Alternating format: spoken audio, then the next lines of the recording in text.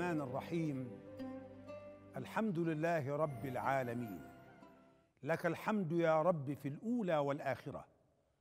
والصلاة والسلام على خاتم النبيين وإمام المرسلين نبينا ورسولنا محمد وعلى آله وأصحابه أجمعين. ثم أما بعد. أيها الإخوة المشاهدون في كل مكان من أرض الله الاخوات المشاهدات. ومع الحلقة الثانية من سورة الانفطار. نستمع إلى آياتها.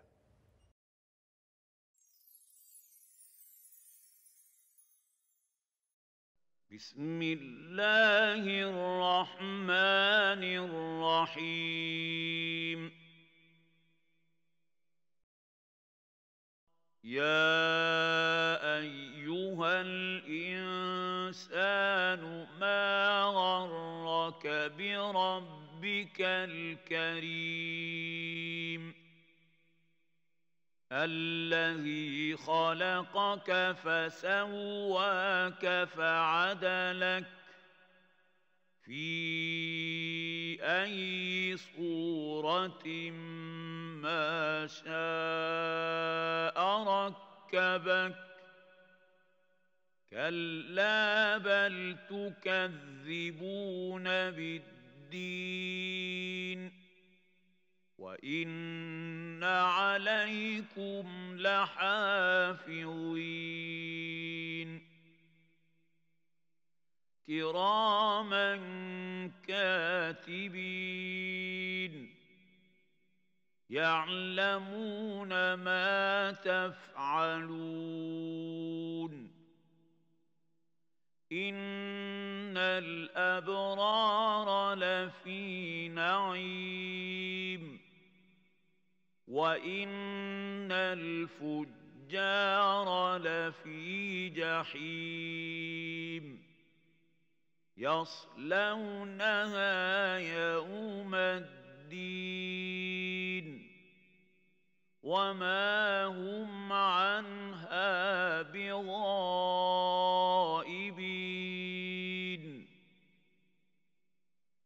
وما أدراك ما يوم الدين ثم ما أدراك ما يوم الدين يوم لا تملك نفس لنفس شيئا والامر يومئذ لله وبعد أن استمعنا إلى هذه الآيات التي تبدأ بقول الحق تبارك وتعالى يا أيها الإنسان ما غرك بربك الكريم الذي خلقك فسواك فعدلك؟ في أي صورة ما شاء ركبك؟ واضح. أو يجب أن يكون واضحا أن قول الحق تبارك وتعالى يا أيها الإنسان نداء نداء من الله الكريم من رب كريم. ينادي كل إنسان كل إنسان من خلقه ليقول له يا أيها الإنسان ما غرك؟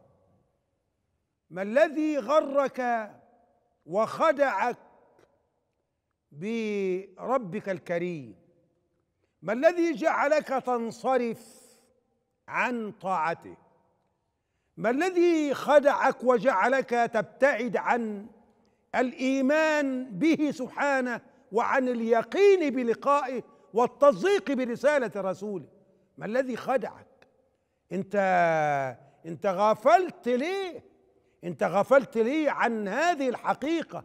حقيقة عودك إلى الله تبارك وتعالى وأن مصيرك إلى الله إلى الله حتى يحاسبك على ما قدمت وما أخرت علمت نفس ما قدمت وأخرت. يا أيها الإنسان ما غرك بربك الكريم الذي خلقك. شوف انظر انظر إلى كرمه سبحانه وتعالى. انظر إلى فضله سبحانه وتعالى حيث يقول سبحانه ما غرك بربك الكريم الذي خلقك. ألا يدل الخلق هذا على كرمه سبحانه؟ هو الخلق معناه إيه؟ الخلق كما سبق أن أشرنا وكما يجب أن نعلم الخلق معناه الإيجاد من العدم إيجاد الشيء من عدم. فالله تبارك وتعالى خلق الإنسان وأوجده من عدم. تقول لي كان أصلك إيه؟ خلقك. وخلقك من تراب ومن طين ومن حمأ مسنون ومن صلصال كالفخار وسواك ونفخ فيك من روحه ومن ماء دافق يتحول الماء الدافق ببويضته المخصبة بعد التقاء الحيوان المنوي ببويضته إلى العلقة والعلقة إلى مضغة والمضغة. آية لافتة الذي خلقك عدم أوجدك الله تبارك وتعالى بقدرته وعظمته. الذي خلقك دلالة على كرم الله. هو أنا كان وجودي واجب على الله تبارك وتعالى. كان وجودك واجب على الله سبحانه وتعالى. الله تبارك وتعالى لا يجب عليه شيء. معنى هذا أنه خلقني تفضلا. وخلق هذا الخلق تفضلا منه سبحانه. دلالة على فضله دلالة على كرمه عز شأنه. الذي خلقك فسواك. الله خلقك فسواك سوى خلقتك. جعلها سوية معتدلة دلالة أخرى على فضل الله تبارك وتعالى. والله انظر في نفسك انظر في أعضائك وكيفية تسوية هذه الأعضاء. يا أخي انظر في في في هذه اليد الكف هذه وما فيها من الأصابع هذه. كيف سواها وكيف جعل هذا طويلا وهذا قصير بهذه الأنام ما هذا؟ خلقة عجيبة سبحان الله العظيم. خلقك وسواك وعد. سبحان الله يبقى خلق تفضلا. سواك سوى أعضاءك تفضلا ظاهرا وباطنا. يعني يعني قضية التسوية مش قضية ظاهرية بل انظر حتى إلى إلى ما في داخل هذا الجسد من جزيئات مسواه سواها ربنا سبحانه وتعالى وعدلها وجعلها في أحسن صورة وأحسن هيئة. لا الله. أمال ليه ربنا سبحانه وتعالى قال سنريهم آياتنا في الآفاق وفي أنفسهم حتى يتبين لهم أنه الحق؟ يا سادة يا سادة آية خلق الإنسان ربنا سبحانه وتعالى جعلها أول آية كما سبق أن أشرنا من الآيات التي أنزلها في أول ما أنزل من القرآن. اقرأ باسم ربك الذي خلق وبعد ما قال لي خلق قال خلق الإنسان ودل دلت الآيات على قضية خلق الإنسان. أول آية من الآيات دلت على قضية خلق الإنسان. كأن ربنا سبحانه وتعالى يقول نعم أنا ذكرت قضية خلقك أنت حتى تكون أنت الشاهد والمشهود به للدلالة على قدرة الله تبارك إذا عرفت نفسك عرفت ربك. سبحان الله العظيم. فخذ نفسك دليل على فضل الله على قدرة الله على عظ... الذي خلقك فسواك فعدلك في أي صورة ما شاء ركب. الله تبارك وتعالى قادر على أن يجعلك في أي صورة شاءها أن يركب أعضاءك. ولكن تفضلا منه سبحانه وتعالى خلقك سواك فعدلك في أي صورة ما شاء ركبك. فاصل ونعاود الحديث مع حضراتكم.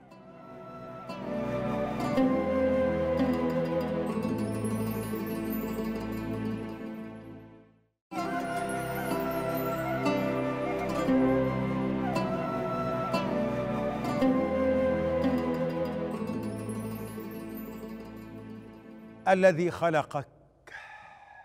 ما غرك بربك الكريم الذي خلقك؟ فسواك فعدلك في أي صورة ما شاء ركبك؟ ثم يقول ربنا سبحانه كلا كلا المفردة القرآنية التي تدل على معنى الزجر ومعنى التعنيف. يا أيها الإنسان ما غرك بربك الكريم؟ انتبه انتبه وعد إلى ربك عد إلى ربك الكريم لأنه بكرمه منحك الخلق المسواه المعتدله كل ربك شاكرا كل ربك شاكرا على نعمه وعلى فضله. وحتى تقوم بأداء النعمة نحو المنعم سبحانه وتعالى. كلا بل تكذبون بالدين. آه. قابلت كرم الله. أيها الإنسان أيها الإنسان قابلت كرم الله وفضل الله بأن كذبت بدينه.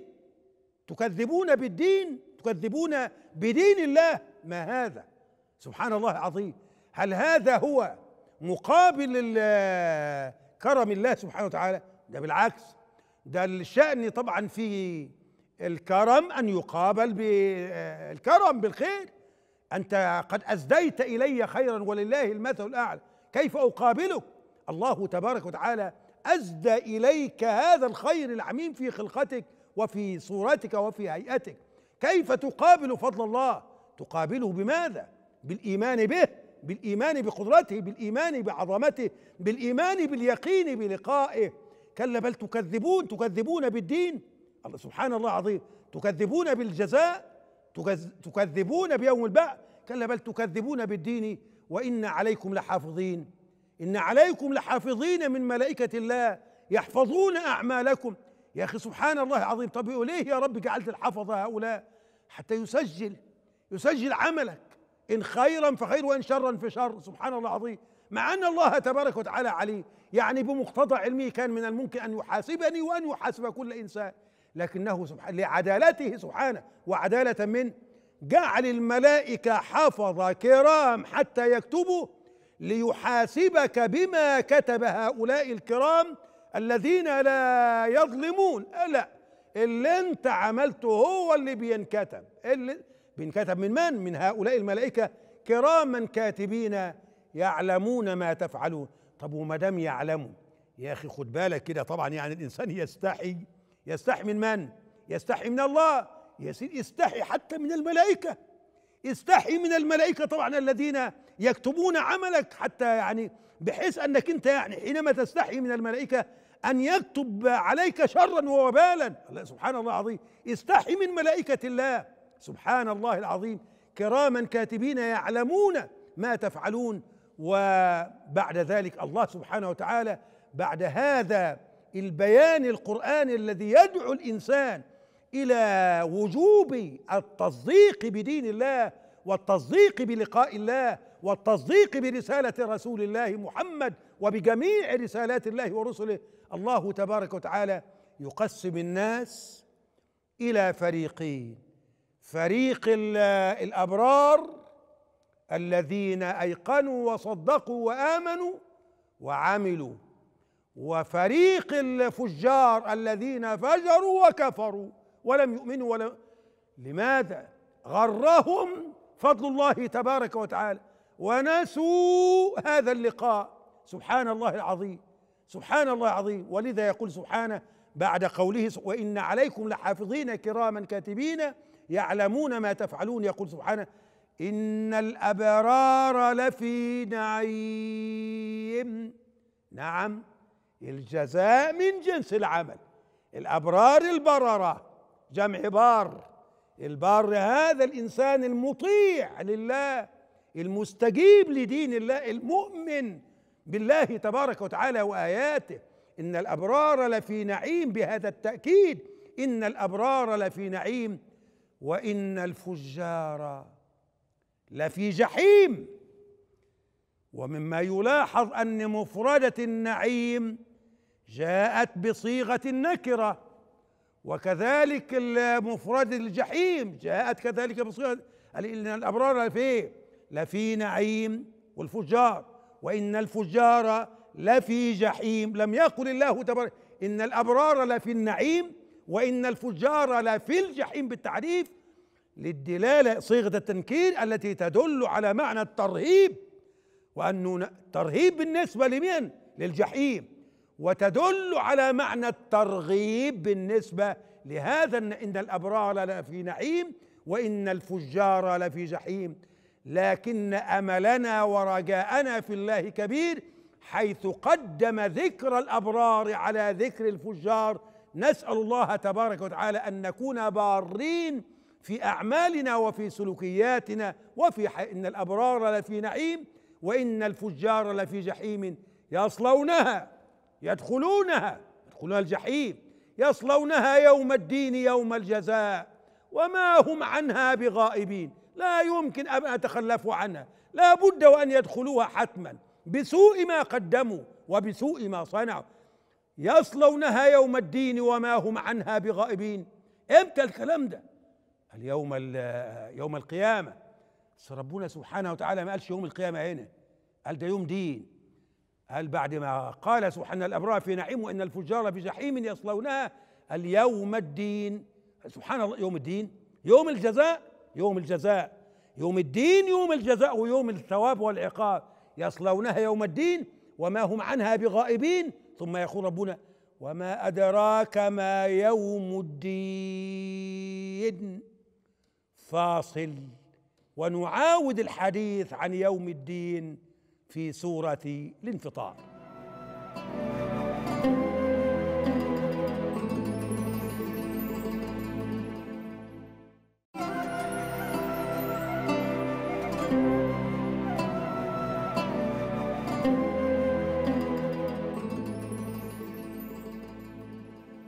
وما أدراك ما يوم الدين؟ ما أدراك أيها الإنسان البصير بيوم الدين؟ استفهام يدل على معنى التعجب تعجب من عدم دراية الإنسان بهذا اليوم العظيم.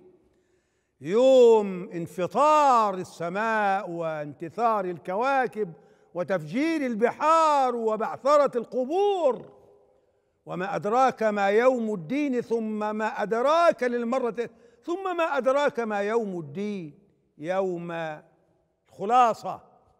الخلاصة التي ننتهي إليها بعد هذا الاستفهام وتكرار هذا الاستفهام الذي يدل على معنى عظمة هذا اليوم والترهيب من هذا اليوم وعدم علم الإنسان بحقيقة هذا اليوم وما فيه وما أدراك ما يوم الدين ثم ما أدراك ما يوم الدين.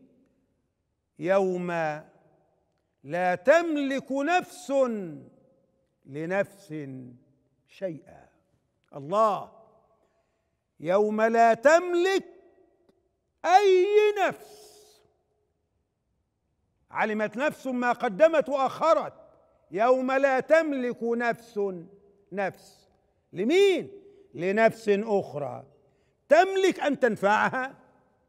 تملك أن تدفع عنها وبالا أو وباء تملك أن تنفعها بخير أن تحمل عنها وزرا.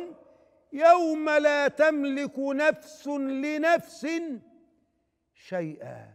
وانتبه معي انتبه معي كده إلى مفردة شيئا.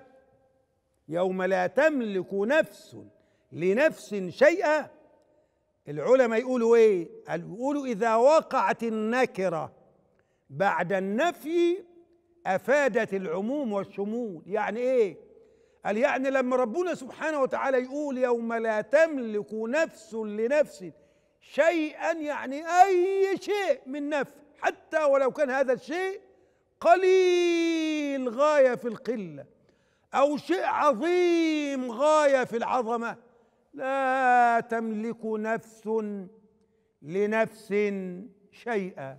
سبحان الله يا سيدي يعني يعني معنى هذا أن الرجل البار المؤمن ما ينفعش أولاده والابن البار ما ينفعش أبوه يوم لا تملك نفس لنفس شيئا. ما فيش في هذا اليوم اسم والد ومولود ومولود ووالد. ما كل إنسان كده بيقولوا لا لا لا لا لا من عرقوبه ها؟ ماخذ آه سبحان الله عظيم بقى نرجع كده من عنق. وكل إنسان ألزمناه طائره فين؟ في عنقه. وتعالى أفكرك بقول الله تعالى يا أيها الناس يا أيها الناس اتقوا ربكم واخشوا يوما لا يجزي والد عن ولده الوالد ده ربنا سبحانه وتعالى ما وصفوش لا بإيمان وصفوا أنه والد والوالد يعني معناها أن عنده حنو لأن ده والد وولده ده ده ده ده, ده ولده. طبعا فلا بد أن يكون هناك حنان من الوالد على المولود والمولود كذلك ينتمي إلى الوالد مع هذا الحنو ومع هذا الحنان لا يجزي والد عن ولده ولا مولود ولا مولود مهما كان شأنه عند الله تبارك وتعالى. ولا مولود هو جاز عن والده شيئا تقول أمال بيقولوا فيه شفاعة. شفاعة طبعا لل للصالحين لغيرهم. قال بس الشفاعة ديت يا ترى الشفاعة دي بإذن الله ولا بإذنك أنت بقى؟ آه. الشفاعة لا يمكن يعني إيه؟ قال يعني ما ينفعش الوالد يشفع لولده أو لغيره إلا بإذن الله ولا يشفعون إلا إيه؟ إلا لمن ارتضى. يعني معنى هذا أن ما فيش شفاعة إلا بإذن الله تبارك وتعالى. وإمتى بقى ربنا سبحانه وتعالى يقبل الشفاعة؟ إذا رضي للشافع أن يشفع وإذا رضي على المشفوع له وقبل شفاعة الشافع له ساعتها تقبل الشفاعة. اذا الشفاعة مرهونة بإيه يا سادة؟ مرهونة بإذن الله مرهونة بإرادة الله. نعم في شفاعة ولكنها مرهونة بإرادة الله تبارك وتعالى. اعود بحضراتكم. يوم لا تملك نفس لنفس شيئا والأمر يومئذ والأمر والشأن كل الشأن في هذا اليوم. لمن؟ لله وحده. والأمر يومئذ لله. يفصل ربنا سبحانه وتعالى في الأمر كله بحكمه سبحانه وتعالى. بحكمه بأمره. لا منازع ولا شريك. يوم هم بارزون. لا يخفى على الله منهم شيء. لمن الملك اليوم؟ لله الواحد القهار. اليوم تجزى كل نفس بما كسبت. لا ظلم اليوم. إن الله سريع الحساب. أيها السادة ايتها السيدات عودة صادقة. عودة صادقة. إلى آيات ربنا إلى الإيمان بهذه الآيات التي بدأت بانفطار السماء وانتهت بقضية الثواب والعقاب. يوم لا يجزي والد عن ولده ولا مولود هو جاز عن والده شيئا. إن وعد الله حق يوم لا تملك نفس لنفس شيئا والأمر يومئذ لله. أحسن عاقبتنا في الأمور كلها. أحسن عاقبتنا في الأمور كلها وأجرنا من خزي الدنيا وعذاب الآخرة. بفضلك وكرمك يا أكرم الأكرمين يا رب العالمين. هذا وبالله التوفيق. وصلى الله وسلم وبارك على سيد الشفعاء سيدنا النبي الذي نرجو الله تبارك وتعالى أن يشفعه فينا يوم لقائك يا رب العالمين. والسلام عليكم ورحمة الله وبركاته.